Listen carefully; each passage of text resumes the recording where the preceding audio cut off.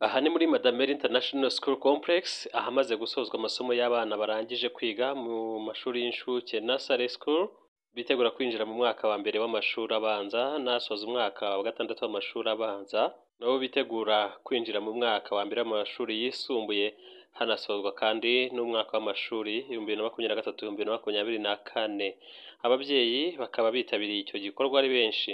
Iki ni igikorwa cyaranzwe n'ibyishimo byinshi aho abana basusurukije ababyeyi babavungurira ku mpano zibihishemo bakerekana ubwenge bamaze kungukira ku kigo cyabo cya Madameri International School Complex bigaho kizwi kugira ubuyobozi bwiza n'abarimu b'inzobere muri byinshi. Bwana Rwabigwi Cyprien washinze iri shuri mpuzamahanga ry'icyitegererezo avuga ko Madameri International School Complex imaze gutera imbere bikagaragazwa n'uburyo batangiranye n'abanyeshuri batarenze makumyabiri mu myaka cumi n'icyenda ishize bakaba barohereje urubyiruko rwinshi rw'abana muri za kaminuza nyinshi zo ku isi abagiye barangiza bakaba bari gukorera igihugu mu nzego zitandukanye ndetse no mu mahanga bikaba ari uko yishimira kandi ko ikigo cyagutse kikagaba amashami aho cyagabye ishami Gahanga aho bafashije ababyeyi bo mu bice bihegereye kubona aho bigira heza kandi hasobanutse ashimira cyane ababyeyi gukomeza kuba hafi y'ikigo abasaba gukomeza kubafasha kurera abana babo babatoza ikinyabupfura no gukunda amasomo biga. Ababyeyi benshi bishimiye kuba barereshereza abana babo muri Madameri International School Complex ishuri ryigisha neza kandi ritsindisha abana bose bakajya mu mashuri akomeye mu Rwanda no mu mahanga. Basaba abandi babyeyi babyifuza kuzana abana babo bakiga ku kigo cyiyubashye kandi kirera gihanga. Madameri International School Complex ubuyobozi bwabo buvuga ko mu minsi iri imbere izaba iri ku rwego nk'urw'i Burayi bikagaragazwa n'amagorofa ari kuzamurwa mu kigo n'izindi nyubako zigezweho zigiye kuzamurwa i Gahanga ababyeyi bose bashishikarizwa kuza kwandikisha abana babo ari benshi haba ku cyicaro gikuru i Kibagabaga ndetse no ku ishami ryayo riri i Gahanga munsi y'ikibuga cya cricket. Igisabo television na yo hakubereye ikaze mu buryo burambuye. Njyewe nitwa Neziyose Lincoln nakaba ndangije umwaka wa gatandatu. Eh, ubu twagaraduwetinze ndi umunyarwanda mfite imyaka cumi n'umwe Eh, hanyuma amasomo yose wa- wayarangije gute muri iyi myaka itandatu? Ntabwo na byo yarangije neza ubitsinda uba uwa mbere? Eh, mm, imyaka itandatu nubwo yari ikomeye ariko si byari bikomeye nk'uko bikomeye cyane. Na nabirangije neza uwa mbere buri gihe Eh, yari imyaka myiza. Witeguye rero kujya mu mashuri yisumbuye kugira ngo ukomeze ube umuhanga niteguye nishimye kandi ndabyizeye neza ko nzabona amanota menshi nabwo ningerayo. Kandi ndanishimye cyane ku rwego rwo hejuru kuba ndangije primaire. Eh, merci. Hanyu- hanyuma rero ni iki ushaka kuziga nugera muri segonderi Um, ndashaka kuziga business. Eh, nakaba umu businessman. Eh, urumva numara kwiga na kaminuza ari byo uzakomeza gukora? Eh, nzakomeza nikorere. Mbe umu businessman hanyuma rero gira inama ruha abana bagenzi bawe mwiganye kugira ngo bakomeze bige batere imbere n'abandi basigaye inyuma bagenzi babo Uh, thank you. We all of you, we thank you for being a good kids in this in this year, in this journey, and you are very good. That was um, an amazing journey with you guys, and I um, want to tell you, just you don't have to give up. You stay with. Uh, don't be scared because you are going to secondary. It's not as hard as you think, guys. Thank you. nitwa irakoze trixi hanyuma rero urangije umwaka wa kangahe Na- narangije umwaka wa gatandatu umwaka wa gatandatu amasomo yari ameze gute Eh, byarakomeye cyane ariko nabashije kubikora neza hanyuma rero urangije umwaka wa gatandatu wabitsinze witeguye gute kujya mu mashuri yisumbuye? Eh, eh, nashakaga gusigara hano madameri ariko njye muri bodingi yego. Hanyuma ni iki usaba bagenzi bawe barangije murangizanye kugira ngo nabo bazige neza bazatsinde aho mugiye kujya kwiga? Ndagiye ngo bakomeze kwiga barangize bagende muri univerisite eh, bahe vakansi neza cyane. Hanyuma eh, eh, ugiye kujya muri mu- muri muri muri- muri segonderi ni iki wifuza kuzakora numara kwiga? Eh, nshaka gukora architecture kubera nabikundaga. Architect ubu ni ukora umuntu ukora design y'amazu. Yego. Ni wowe butumwa se waha ababyeyi bawe ukaba ugeze ukaba ugiye kujya mu mashuri yisumbuye? Eh, ababyeyi banjye bakomeje kumbwira ngo nzakomeze. Hari ibintu byabaga kuva naje hano madameri hari ibintu byabagaho ariko madamu dayana yamfashaga gukomeza kwiga. Yego. Madame bigisha neza? Yego bagisha neza cyane. Eh, murakoze nitwa mujyambere john. Umwe mu babyeyi barereshereza aha ngaha ese hano mwahisemo kugira ngo ni gute mwahisemo kugira ngo muze kwireshereza muri madame iri kuharereshereza Eh, twahahisemo kuko madamere ni ikigo cyiza eh, gifasha abana mu buryo bwo- bw'ubumenyi ndetse eh, no mu buryo bwa- bw'ikinyabupfura n'indangagaciro. eh, nk'abanyarwanda tuba dukeneye kumenya no kugira ngo umwana azamuke neza eh, yubahiriza indangagaciro z'umunyarwanda kandi eh, n'ubwo bumenyi tuba twifuza nabwo tukabu tukabuhabona. Mwatuye ko mufite n'abandi bana biga hano? Yego turabafite. Eh, Eh, eh, dufite abandi babiri bakurikira uyu nguyu. Umwe ageze mu mwaka wa nko- mu wa kane segonde hanyuma undi murumuna wabo akaba agiye mu wa gatatu pirimeri wowe butumwa abandi babyeyi ba- bifuza kurereshereza mu bigo bitandukanye kugira ngo baze kwigishiriza hano ari benshi muri madame iri ari benshi. Ubutumwa twaha ababyeyi ni uko muri madameri icyo umubyeyi ahifuza arakibona mu bijyanye na bimwe nababwiye bijyanye n'indangagaciro ndetse eh, n'ubumenyi umubyeyi aba yifuza ku mwana. Numva ari cyo nashishikariza abandi babyeyi nk'umubyeyi uharerera kandi nkaba maze igihe kugira ngo mpitemo kuba narazanye abana bose batatu hano ni uko ibyo nabonaga nifuza ku bana ari byo mpabona. Nkaba nashishikariza abandi babyeyi rero kuba baza nabo bakafatanya natwe eh, kuharereshereza abana kuko eh, tubona ari ikigo cyiza kandi eh, icyo tubifuzaho ni cyo tubona. Mwatwitse amazina?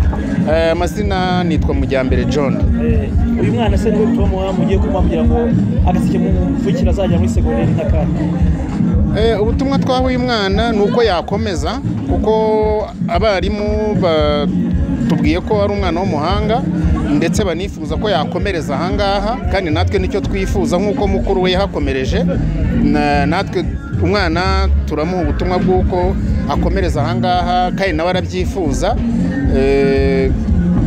Nk'ababyeyi du- turazakomeza kumuba hafi kumufasha mu byo azadukeneraho byose kugira ngo arusheho kuguma eh, gutera imbere mu buryo bw'i- bw'imyi- bw'imyigire ndetse n'ubumenyi yifuza ku rwego yifuza kugeraho. Umwaka wagenze neza nta kibazo Eh, hari ibintu bikomeye byagiye bigabanuka nk'ibiyobyabwenge. Umwaka wose twabonye kesi ebyiri kandi na zo zizoroheje. Eh, wabonye ko muri rusange ibyo abana baberetse uzagenda mbisubiramo mu mashusho byonyine byerekana ko umwaka wabaye mwiza.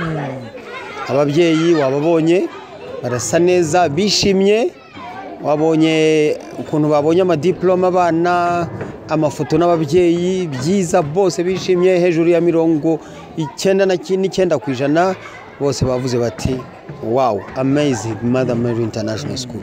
Eh, iyo mubona murera abana ukuntu ni abahanga bagiye muri amerika bagiye ku isi yose nkamwe nk'abayobozi mwumva mubyakiye mute nkatwe abayobozi twumva nyine turi kugera ku ntego yacu kuko intego yacu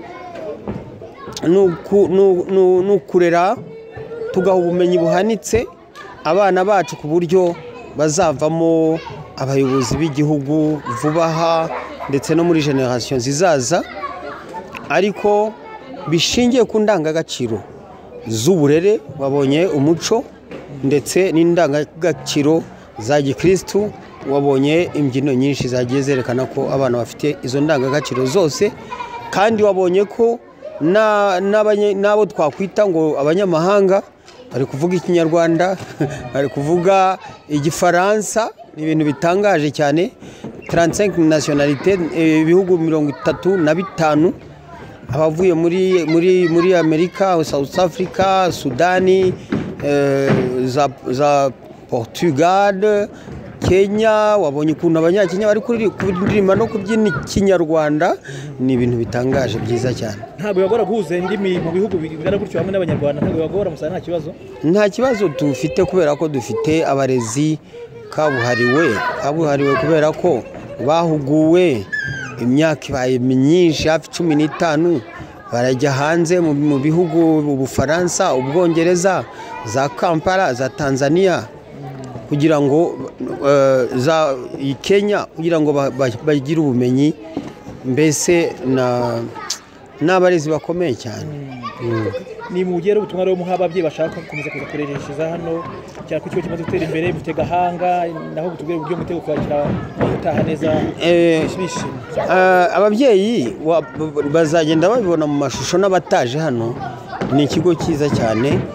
Hano wabonye ko turi kubaka inyubako ya nivo eshanu eh, etaje eshanu ku buryo ishobora ifite ibyumba cumi na bitanu bifite metero cumi ku munani ishobora kwakira abana mirongo itatu kandi bicaye neza mbese ni nka sitandari zo mu burayi aho nagiye ntembera hose Eh, nabonye ko yaba mu bwongereza yaba mu faransa yaba n'ahandi urabona ko iyi nyubako nshya ni na yo ya mbere itangiye.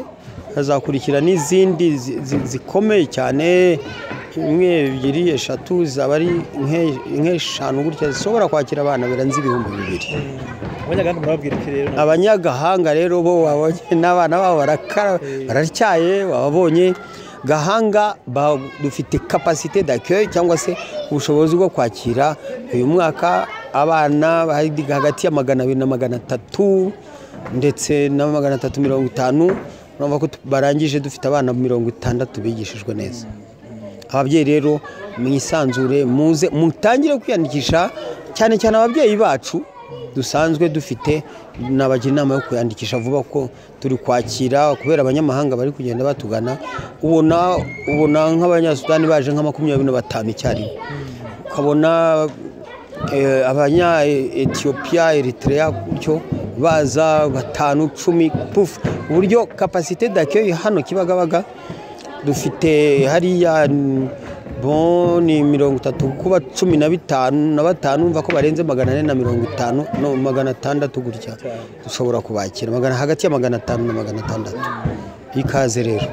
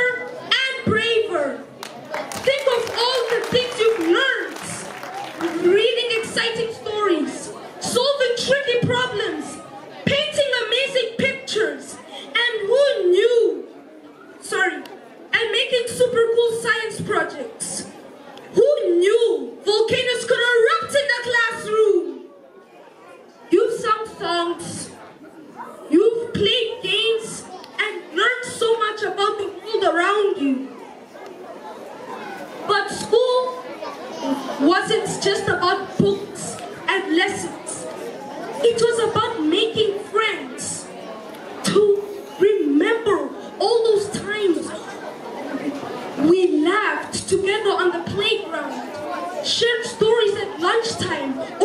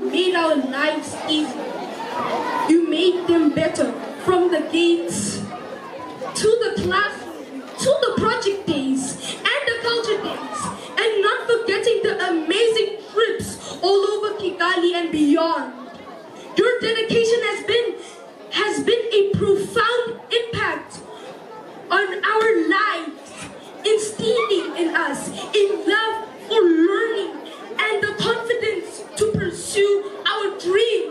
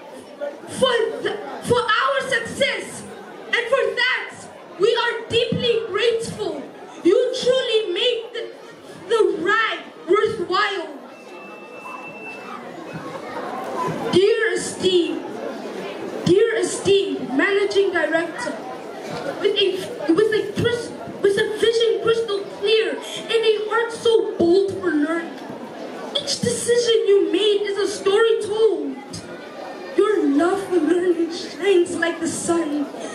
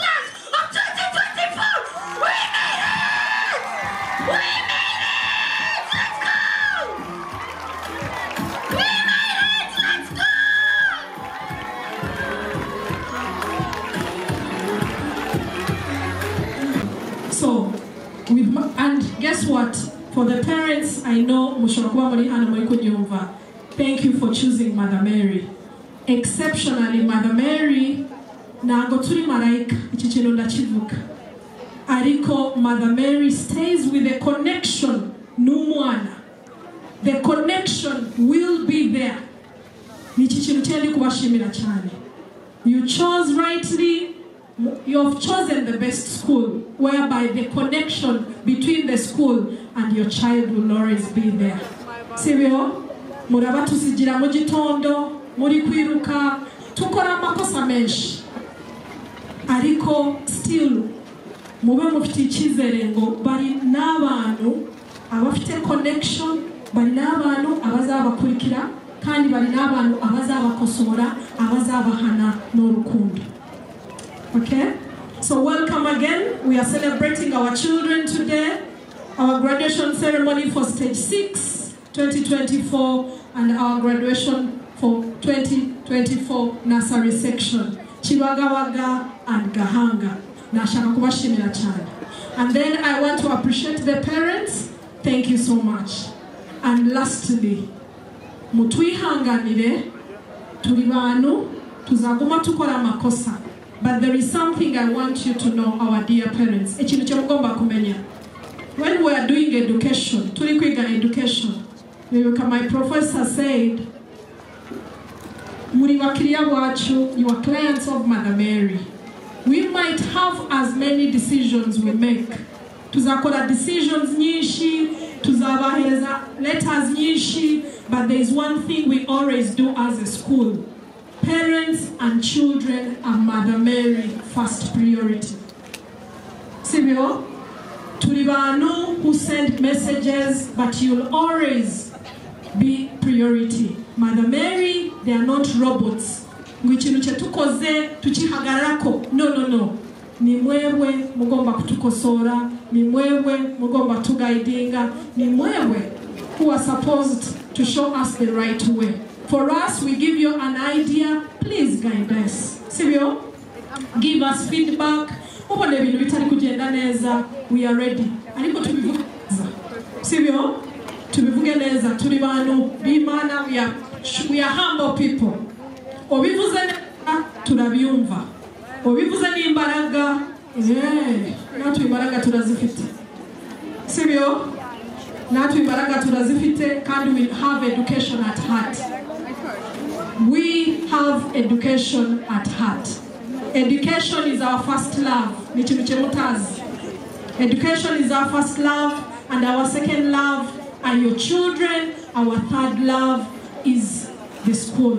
Sibyo so mukomeze enjoy your day today. Today, vuba enjoy the children and may you celebrate with the children. We look forward to seeing you next academic year september 2024 we shall always be with you okay? And we shall, shall always stand with you. May god bless you. Enjoy your day. Thank you so much. I'm diana.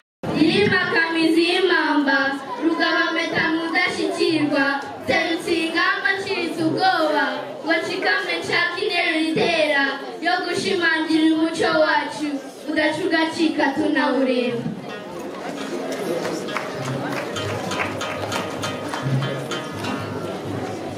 umuseke usanze ndi gusiga sora mama simbi umuseke sokoza amasunzu ngo seruke sawa umusanzu udasa ngo mugire umuntu ngo ni umuntu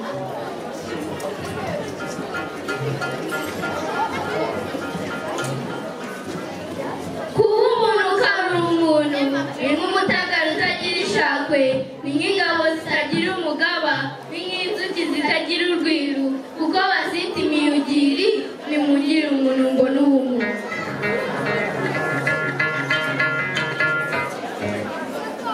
mawe mbyeyi sati wasumba dawe nyindi yeri nyindi mwarimu inyundo icura ubumenyi. Ndabasabye rwose munyumve muke duhungire umuntu mbone uw'umuntu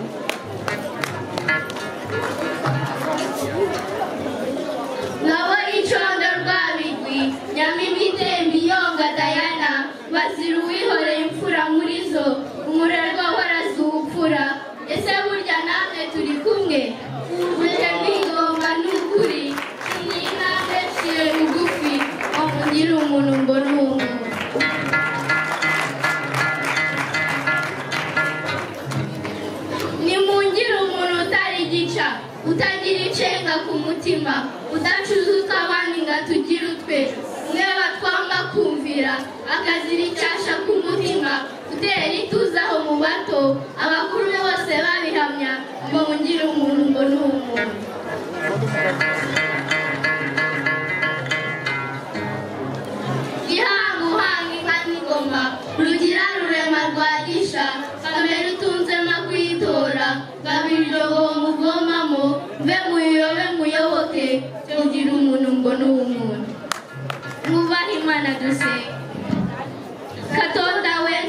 guru tu que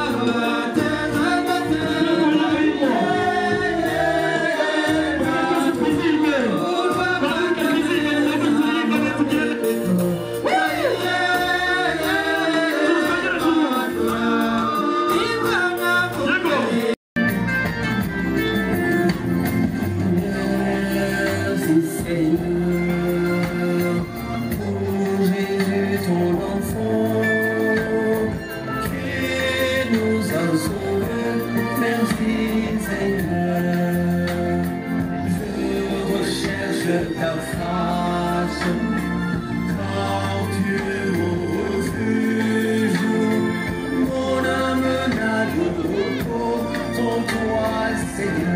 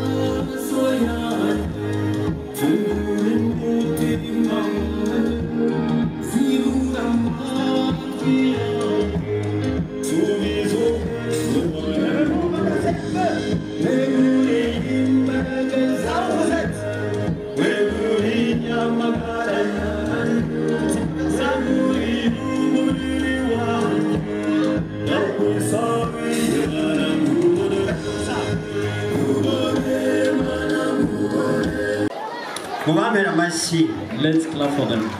On les applaudit fort.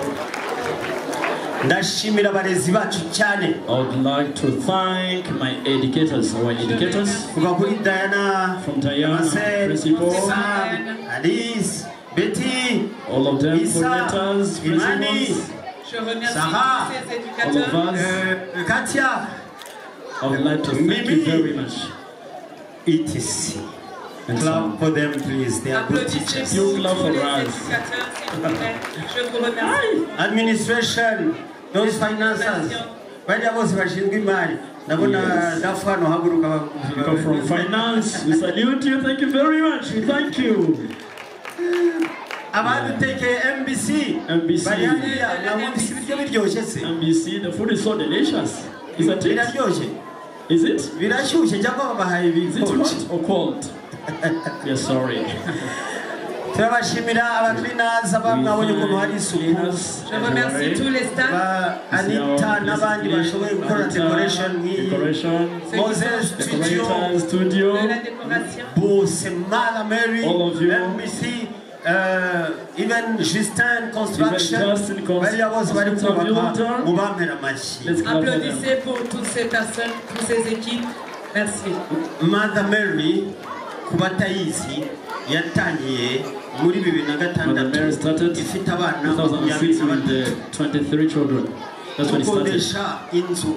We were renting houses tuyishyura n'umushahara wacu and used to use our salary to pay the rent. abarimu umwarimu umwe One teacher, directrice umwe one principal.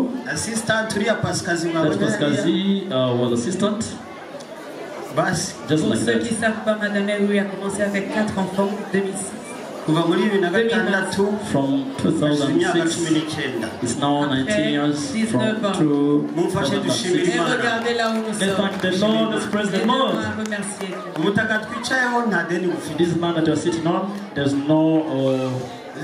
nzu Là où nous sommes nous appartient. Everything is ours. We have no debt. We're not renting anymore. The land is ours.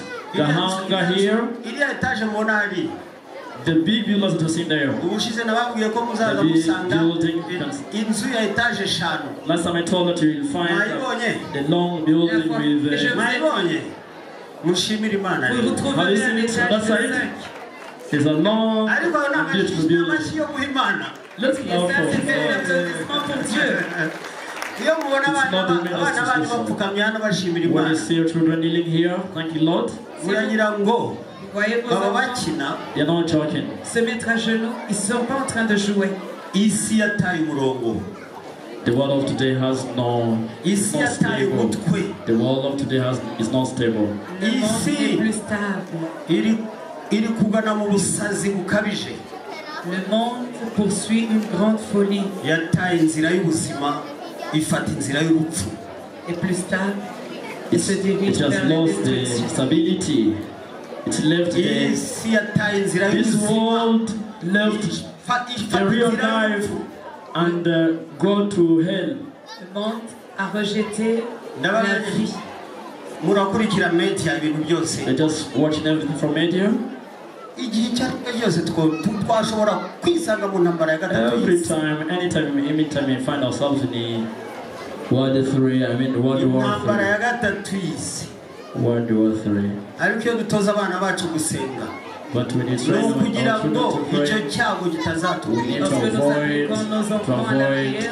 that is first icya kabiri ni ukugira ngo aba bana Our bazahindura isi to change the pour que world. ces enfants changent le monde. aba These, ni abo muzabona ejo even those that are going to get tomorrow, reka mbabwize ukuri let me tell you. Harutwana tukapoteza si ngo stage 1. 2. Stage 1 2. Presenting kubaza I was asking. Wa kane wa gatatu wa. I was wondering. Ubwenge bafite. Due to the knowledge that you have, skills.